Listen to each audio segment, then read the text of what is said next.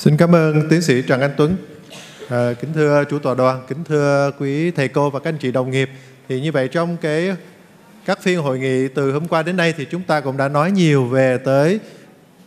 hai bệnh, đặc biệt là bệnh phổi tắc nghẽn mãn tính và hen và cũng như một số cái chất chỉ điểm sinh học trong đó có à, thảo luận về đo cái oxit nitrit trong cái hơi thở ra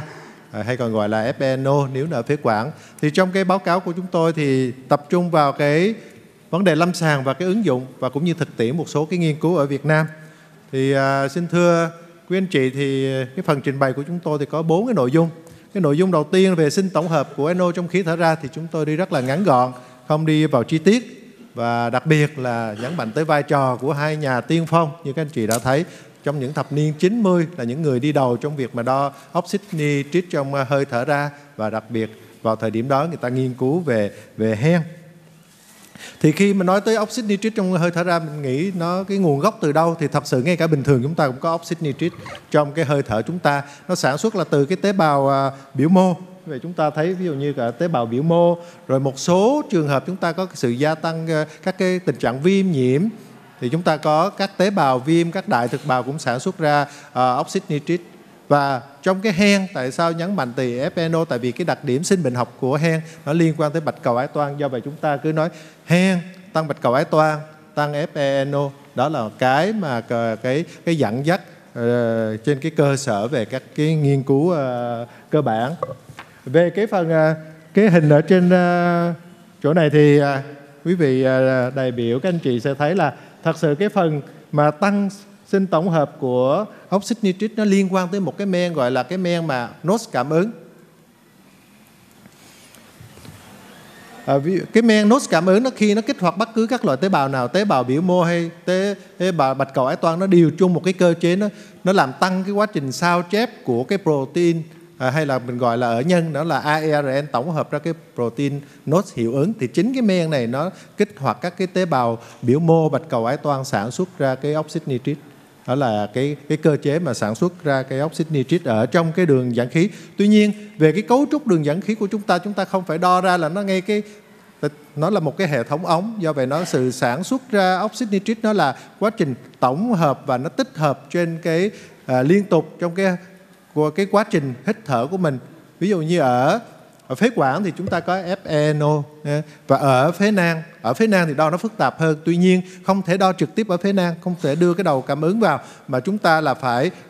dùng cái cách đo là đo tuyến tính bằng các cái lưu lượng khác nhau. Thì để, lúc đó mới suy ra được cái CaNO thì ở phế nang thì chúng ta thấy như vậy là cái sự tạo ra oxit nitric ở phế nang.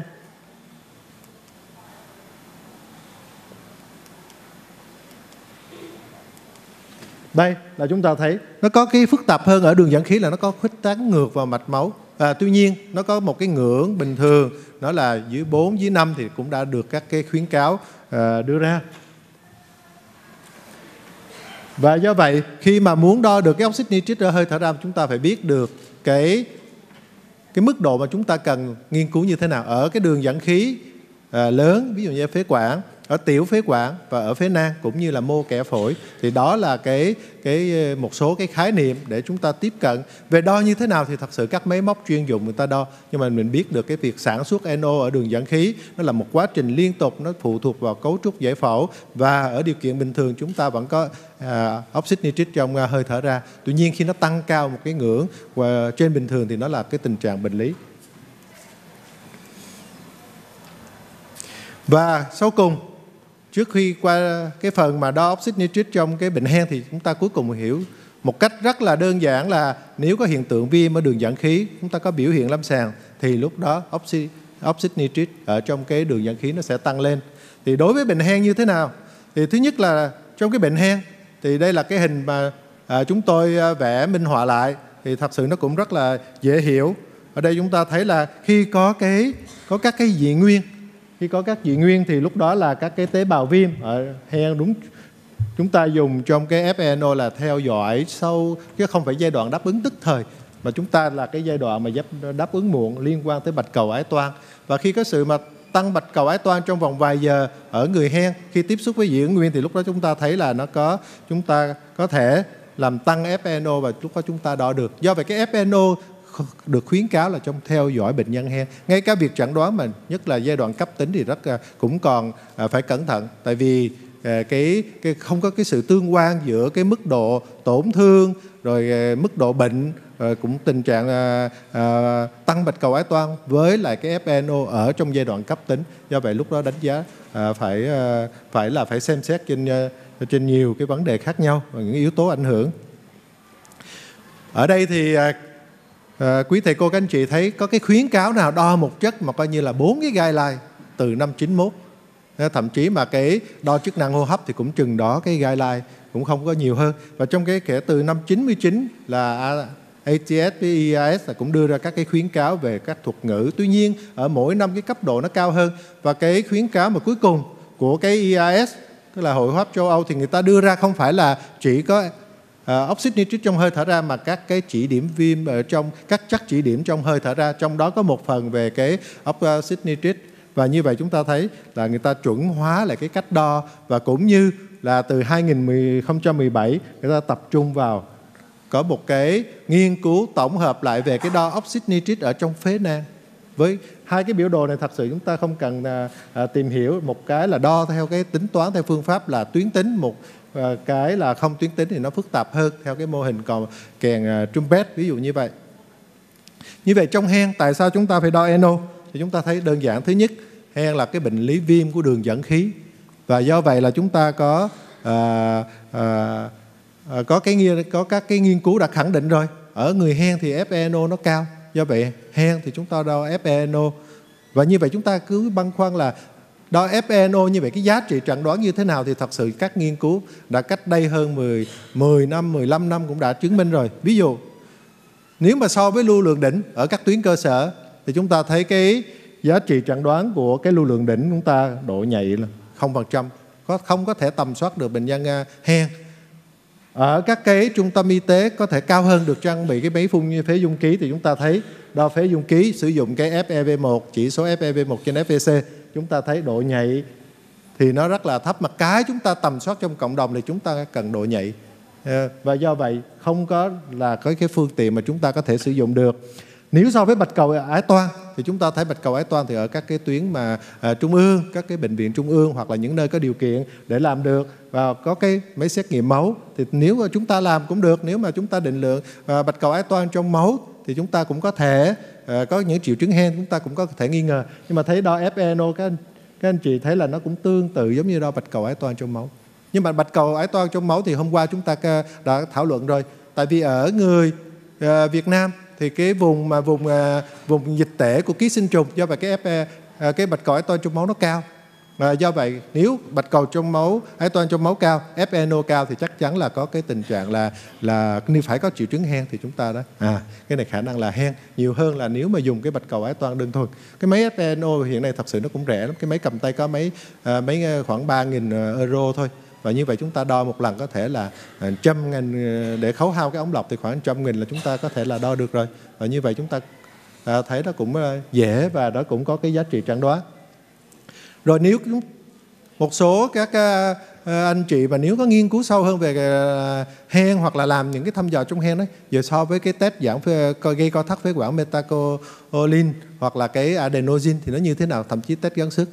Thì chúng ta thấy đây, tất cả những cái nghiên cứu người ta đã làm rồi, cái nghiên cứu cách đây gần 15 năm, chúng ta thấy FNO so với lại cái metacolin với lại so cái adenosine chúng ta thấy để chẩn đoán hen nó không không có cái gì mà khác biệt ý nghĩa nó tương tự nhau thậm chí nó cái giá trị chẩn đoán nó còn hơn cả cái test gắng sức. Và do vậy chúng ta nói FeNO nó là một cái bằng một cái chỉ điểm sinh học để giúp cho chúng ta có cái cơ sở khẳng định thêm cái chẩn đoán thôi chứ cái việc FeNO cao cũng chưa chắc là chẩn đoán hen. Tại sao vậy? À, tại vì à, như vậy qua cái hình này thì chúng ta thấy đối với trong cái chẩn đoán hen tại vì nó có cái thể FeNO mà hen mà FeNO không cao. Ví dụ như nó cao thì rất là dễ. Ví dụ chúng ta thấy ở đây nha, hen từ nhỏ hen dị ứng hen tăng bạch cầu ái toan hen nặng không yếu tố dị ứng hen kiểm soát kém à, hen không dung nạp à, aspirin. Tuy nhiên nó có một cái thể hen hen nhưng mà FeNO không cao. À, và cái thực tế là ở viện nhi à, à, trung ương của chúng ta thì có một số cái tỷ lệ nó rất là cao coi như là gần ờ, trên 30 35 phần trăm. Ví dụ hen không dị ứng này hen người hút thuốc lá. Chúng ta đang bàn cãi về cái chuyện mà ACOS cost ờ, ACOS thì chúng ta thấy là hen và ở người hút thuốc lá đó, chúng ta thấy có thể là FeNO nó sẽ không cao. Rồi hen ở người béo phì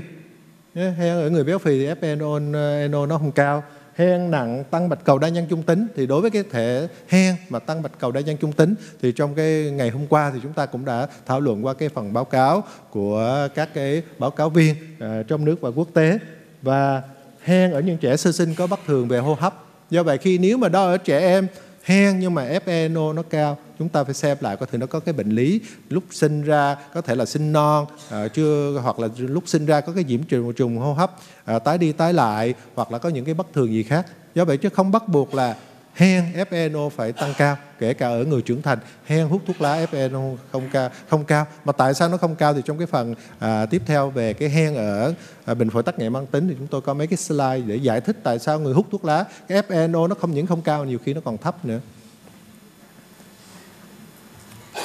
Và như vậy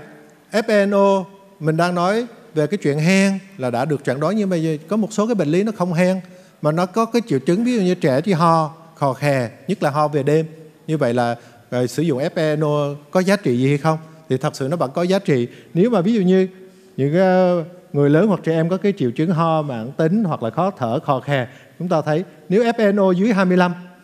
thì chắc chắn không có viêm cái đường dẫn khí do bạch cầu ái toan chứ cũng mình cũng không có nói là cái chuyện hen không hen nó chỉ có không có tình trạng viêm. À, tại vì có một số trường hợp viêm tăng phản ứng với quản tăng bạch cầu ái toan nhưng mà không chưa phải là hen.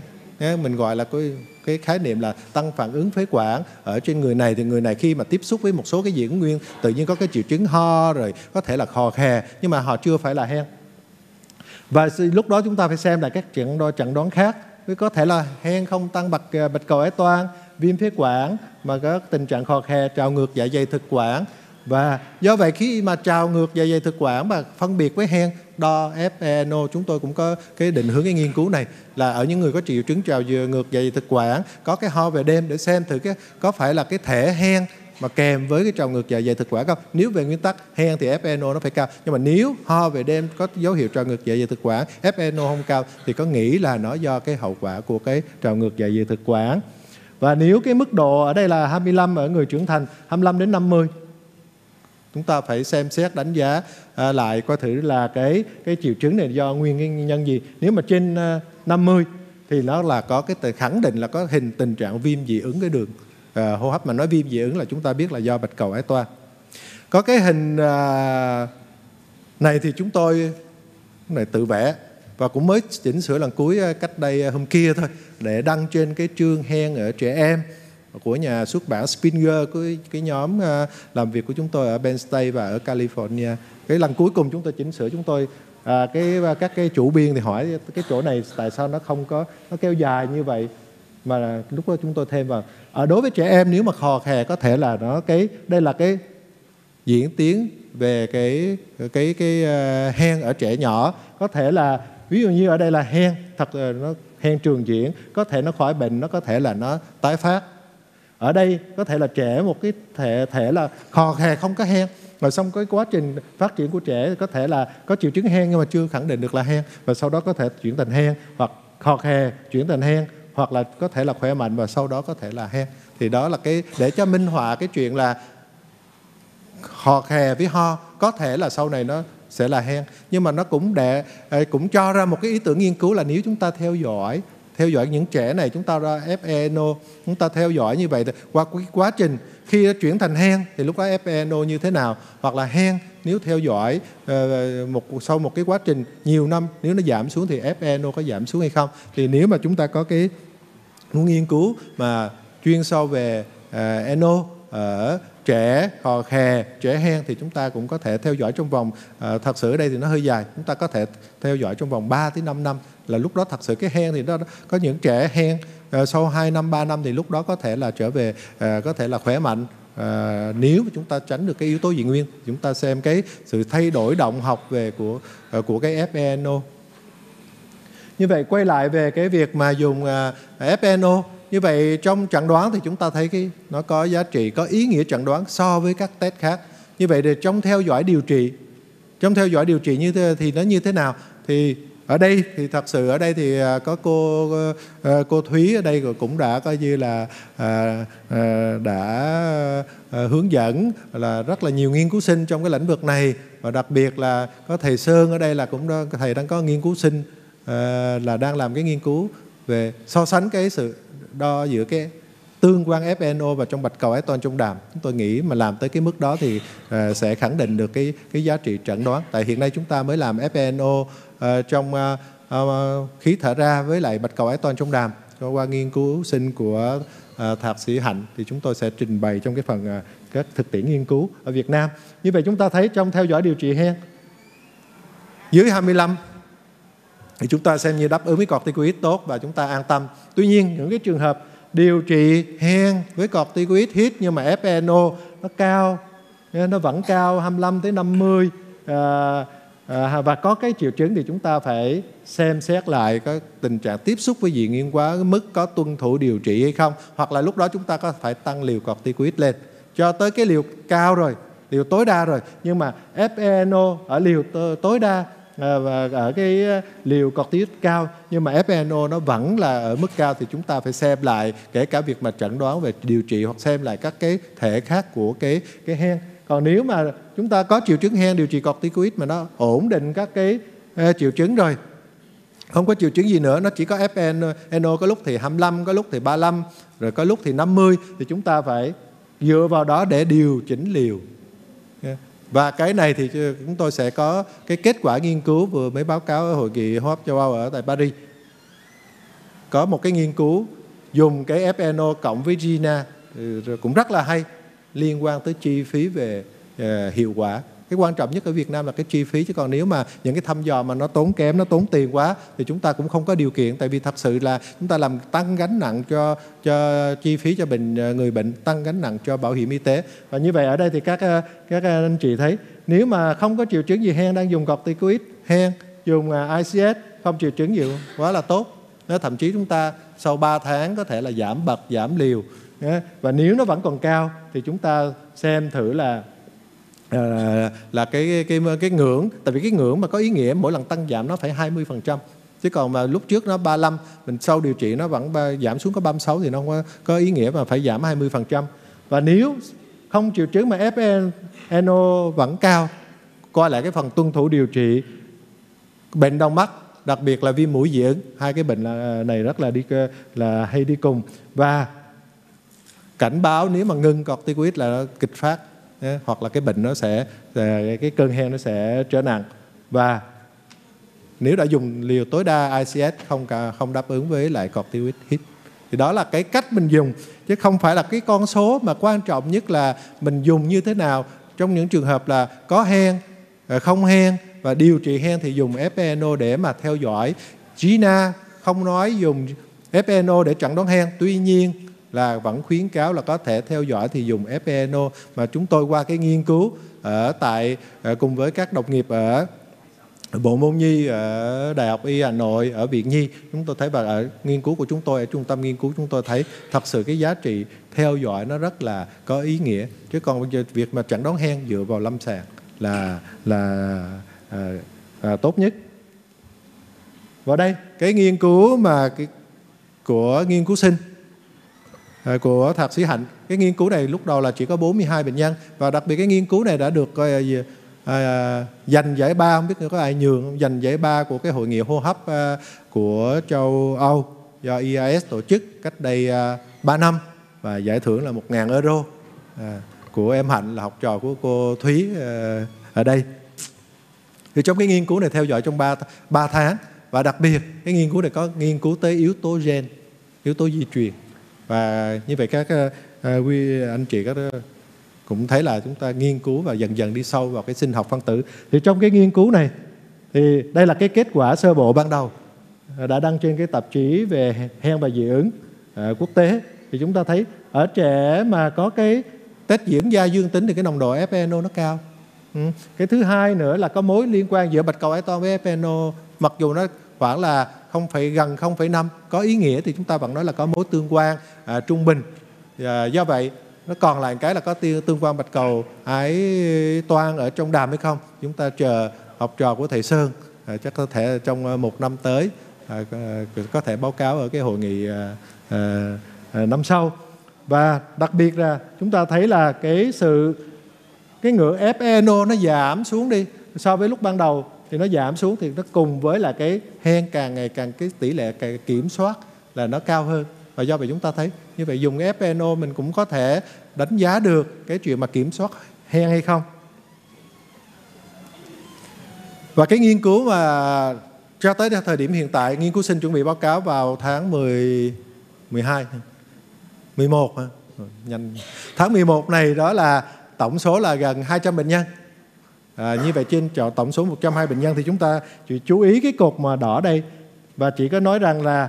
hen mà có FNO cao trên 20 ở trẻ em thì nó có cái yếu tố cái tỷ lệ bị dị ứng à, cao hơn. Có thể test lẫy da IgE cao hơn và cũng như là bạch cầu ái to trong máu nó cao hơn. Thì chúng ta thấy rất là à, à, rõ ràng. Và đặc biệt nếu ở trẻ đó tỷ lệ may mắn là tỷ lệ đột biến gen là 9,3% do vậy là một trăm mấy chúng ta cũng tìm ra được là chính ở có cái đồng hợp tử của cái gen FCER2 thì lúc đó cái nồng độ FeNO cao. Do vậy chúng ta sẽ nghiên cứu. Nếu trong một cái quần thể lớn tỷ lệ trẻ mà có cái FeNO cao tỷ lệ đột biến gen nó cao hơn. Và đột biến gen này nó có lợi tại vì kết quả nghiên cứu cho thấy có đáp ứng với corticoid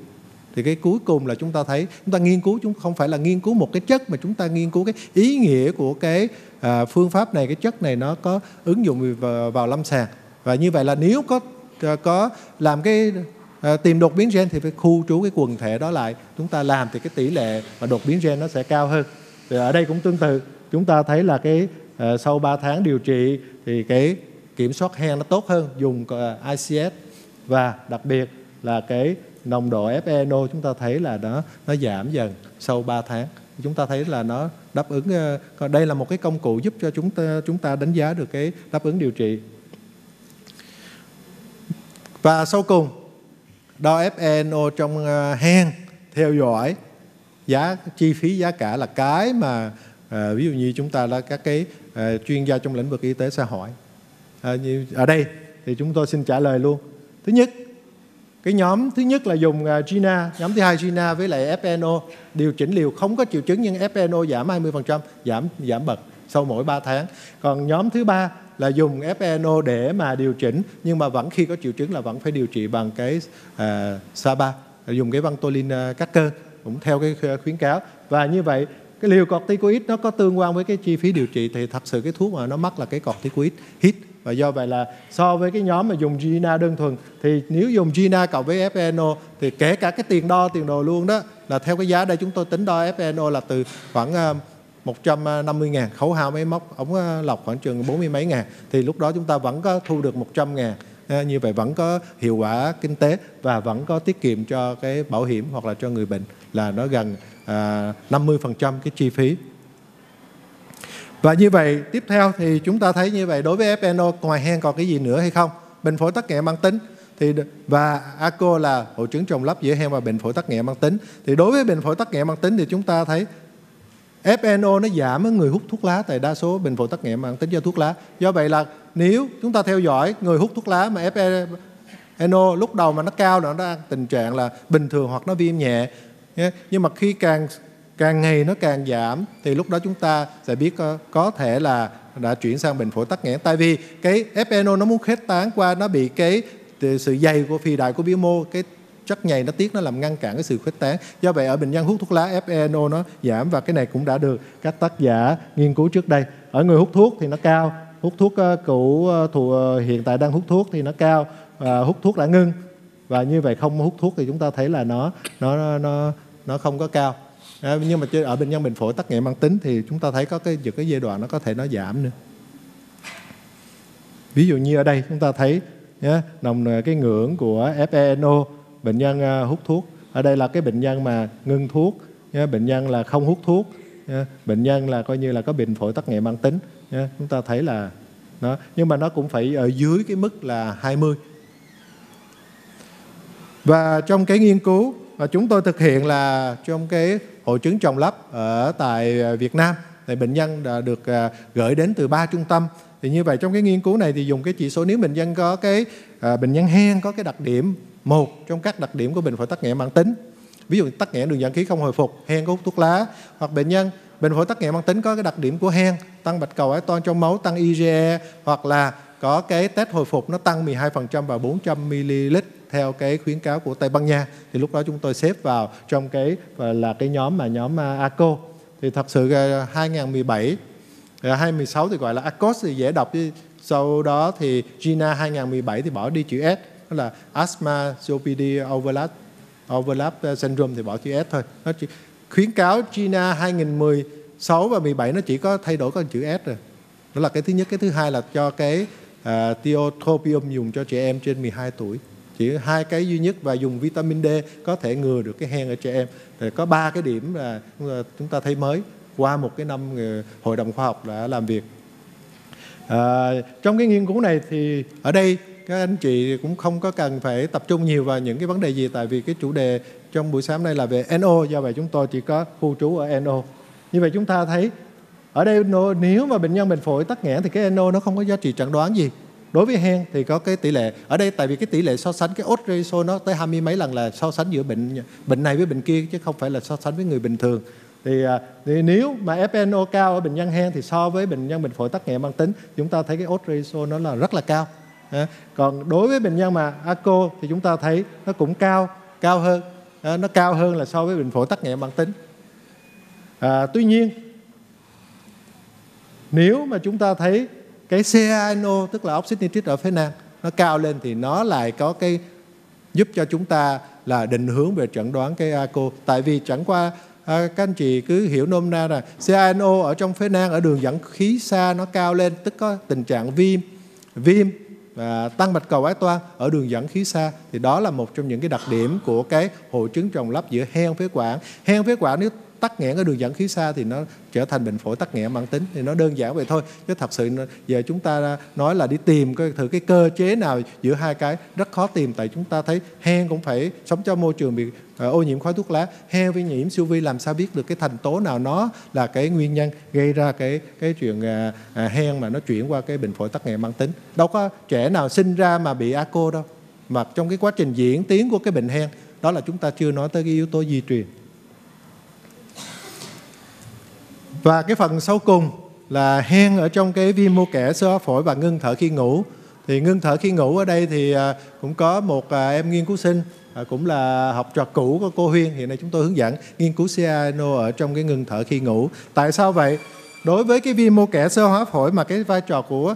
CANO thì chúng tôi đã nghiên cứu đặc biệt là với từ cái lúc mà chúng tôi nghiên cứu với uh, giáo sư Đinh Xuân Anh Tuấn là cũng đã định lượng trong máu ở bệnh nhân sơ cứng bì và theo dõi cái diễn tiến này trên mô hình thực nghiệm ở